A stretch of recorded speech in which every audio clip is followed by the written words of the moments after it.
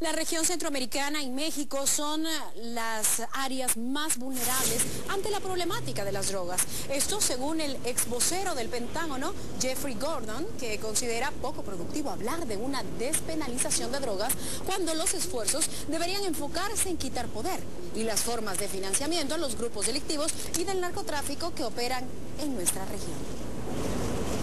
Yo creo que todos los países son, ah, son ah, vulnerables, particular en México y Centroamérica, porque yo creo que e, eso es donde hay mucho transporte de las drogas a los Estados Unidos y cuando los, gobiernos son más débiles, por ejemplo, y hay, hay, muchos riesgos con seguridad, porque ahora mismo seguridad es enorme en Guatemala.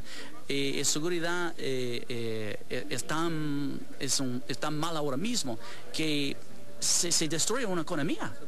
No puede tener una economía bien sana con todos esos tipos de amenazas de seguridad.